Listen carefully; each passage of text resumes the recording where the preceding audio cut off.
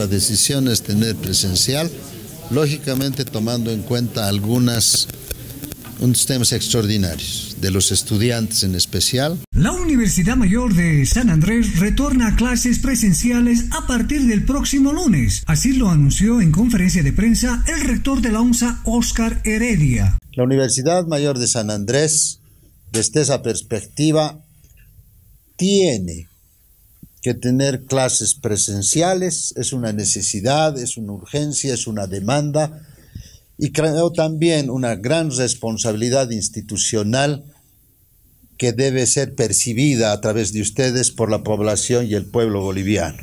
Asimismo, se tiene planificado la modalidad híbrida, que consiste en la combinación de clases presenciales y virtuales, y solo estará destinada para estudiantes y en casos especiales, ya que los docentes y catedráticos deberán permanecer en aula impartiendo sus labores en forma regular. Sin embargo, creo que también hay que considerar que como ha venido el virus a quedarse, la tecnología de la misma manera.